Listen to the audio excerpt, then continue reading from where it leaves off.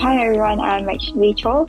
I work in a histology lab and I am a postgraduate student in the cancer biology and precision oncology course.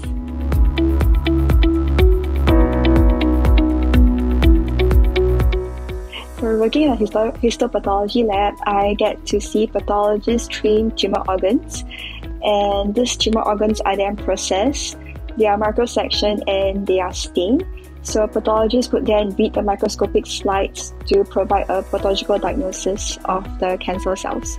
And that is something that I'm really interested in finding out the underlying uh, molecular mechanisms that actually cause these cancer cells to grow abnormally.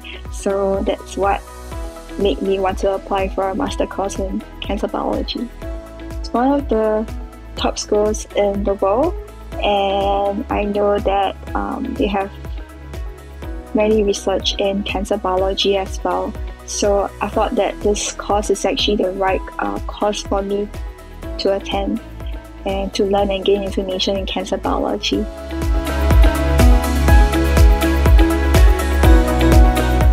So because of um, the, the way the course is organized, and the lecturers are able to bring in various experts um, that specializes in different areas of uh, cancer research. So I'm able to actually understand more all the various kinds of cancer, and that's something that it's hard to come by. This information is actually go you're not able to get it from online. So throughout the course, they have been encouraging students to reach out to them if if, if you have any issues with the assignments or the lecture materials. Uh, since day one, they have always been so helpful. Yeah.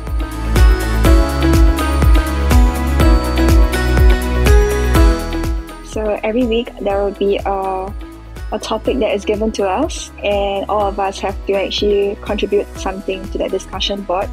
And so we are able to read um, answers from the various students, and that's why we get to learn what their interpretations are. The lecturers try to group us students uh, who are in the same time zone. So currently, I'm working with my classmate who is in the same time zone as me as well. So I think that's easier to interact. I think my recent course is actually on reproductive tract cancer. So it's something that I've never seen before in terms of um, the structures as well and the different types of cancer. And it's very complicating. I didn't know it's that complicating and it's just very interesting for me.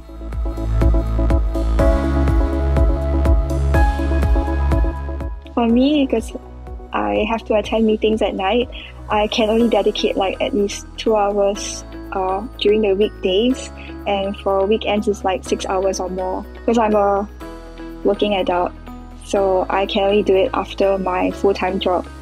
So learning through online gives me the kind of flexibility to to prepare and manage my time better for my assignments as well as balancing my work, my job as well.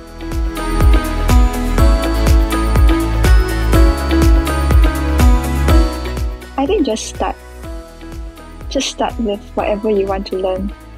Go with the course materials first, and then as you progress, you find out certain information which are not clear, then you start to find out further and explore and get all this information.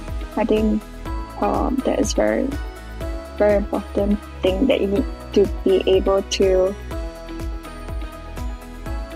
to move forward as a student. For me, I think I would prefer to learn the skill of reading journal articles quickly and picking up the main points of the journal articles. I think this is a very important skill if you want to be a researcher because there's tons of research papers that you have to read daily. So you need to be able to understand and interpret them correctly and quickly as well.